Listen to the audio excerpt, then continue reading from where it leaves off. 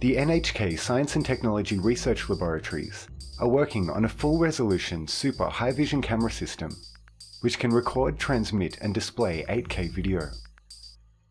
The system consists of the camera, a camera control unit and a display. The camera, which weighs 65 kilos, uses three 33 megapixel image sensors to record the image, and a built-in compact transmitter then transmits a 90 gigabit per second signal on a single optical cable to the camera control unit. The camera control unit receives the signal from the camera and processes it to remove lateral chromatic aberration, which occurs when different wavelengths of light have different focal lengths. This allows the system to deliver a crisp, clear image at such a high resolution. The control unit also generates a signal which is delivered to the camera viewfinder to help the camera operator find the in-focus range and adjust the focus. The signal is then sent via four optical multi-cables to four tiled 2K displays, which then output the video at the full resolution of 7680 by 4320 pixels.